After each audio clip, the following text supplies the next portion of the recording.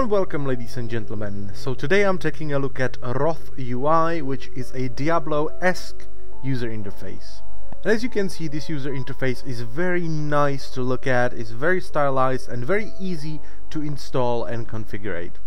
So this is the default setting, I have not changed anything. I added one more add-on but I'm gonna talk about it later. So if you type in slash diablo config this nice tab will pop up where you can customize each orb individually. And as you can see, there is a lot of stuff to do. At first I thought there is no way you can add additional action bars, but that is not true. All you have to do is go to your interface, go to the vanilla action bar setting and enable additional action bars there.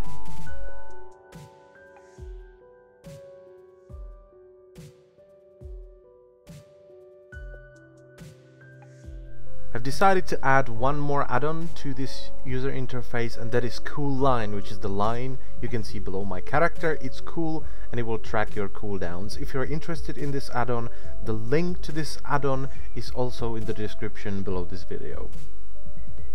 For this next clip I am sorry but I am recording videos in 720p and in 720p resolution the cast bars overlap. If you're not playing with a 720p resolution, your and the target's cast bar will not overlap.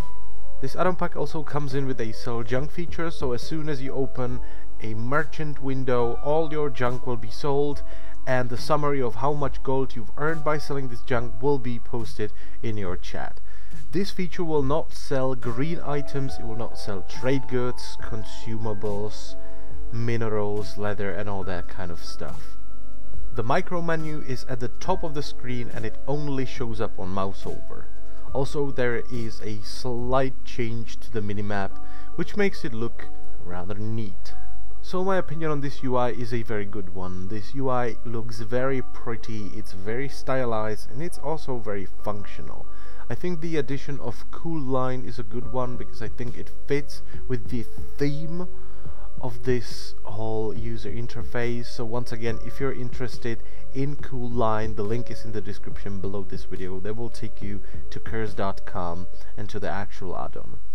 The thing I like the most about this UI is that it's clean okay? There is nothing in your face nothing obtrusive. It's nice. It's very well designed. It's not a raiding UI but if you add a couple of different add-ons such as Coolline or TellMeWhen class timers, it can be a fairly competent raid UI. The health is a bit too low, but listen, the target's frame is in a fairly good spot. You can see it fairly easily if you're looking at your character and the target's target is to the left of the target unit frame.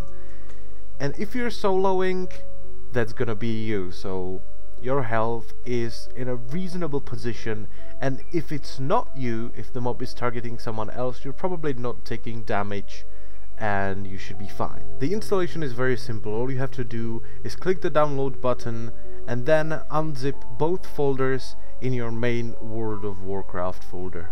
And you're done. You have a wonderful UI that's both good looking and functional and I thank you all for watching my video, and I will see you next time. Bye bye.